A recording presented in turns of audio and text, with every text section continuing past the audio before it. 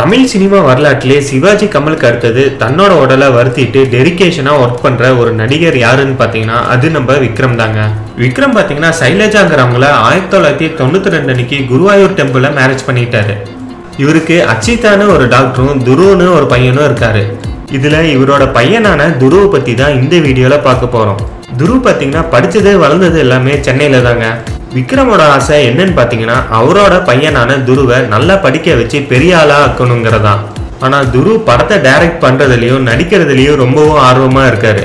இதுக்காக இவரு லண்டனில் இருக்க மெட் ஃபிலிம் ஸ்கூலில் ஃபிலிம் மேக்கிங் கோர்ஸ் படிச்சிருக்காரு. இவரோட முதல் ஷார்ட் ஃபிலிமான குட் நைட் சார்லிங்கிற ஷார்ட் ஃபிலிமை அவரோட அசைன்மெண்ட்டுக்காக பண்ணியிருக்காரு.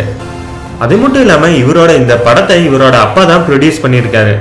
துரு சின்ன வயசாக இருக்கும்போதே பசங்கங்கிற படத்தில் நடிக்க வாய்ப்பு வந்துச்சான் ஆனா விக்ரம் துரு கிட்ட படிப்பு தான் முக்கியம்னு சொல்லி கண்டிச்சிருக்காரு. இதனால துரு விக்ரம் கிட்ட பயங்கரமா கோவப்பட்டிருக்காரு. விக்ரம் பாத்தீங்கன்னா துருவை ஒரு சாதாரண ஒரு சராசரி பையனா தான் வளர்த்திருக்காராம்.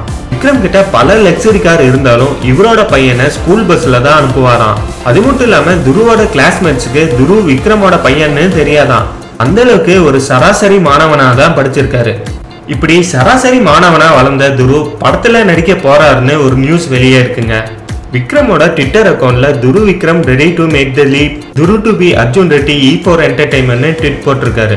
அர்ஜுன் ரெட்டியோட தமிழ் ரீமேக்ல துரு நடிக்கிறது கன்ஃபார்ம் ஆனாலும் இந்த படத்தை யாரு டைரக்ட் பண்ண போறாருன்னு தெரியாம இருந்த நிலையில அது நம்ம பாலான்னு தெரிய வந்திருக்குங்க.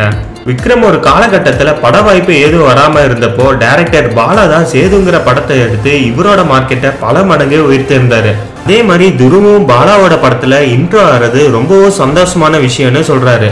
வருங்காலங்கள விக்ரமோட பையன் தான் துருன்னு போய் துருவோட அப்பா தான் விக்ரம்னு சொல்ற அளவுக்கு துரு வளரணும்னு விக்ரம் ஆசைப்படுறாரு அடுத்த வீடியோ பார்க்கறதுக்கு முன்னாடி கீழே இருக்க சப்ஸ்கிரைப் பட்டனை கிளிக் பண்ணி எங்க ஃபுல் மீல்ஸ் சேனலை மறக்காம சப்ஸ்கிரைப் பண்ணுங்க.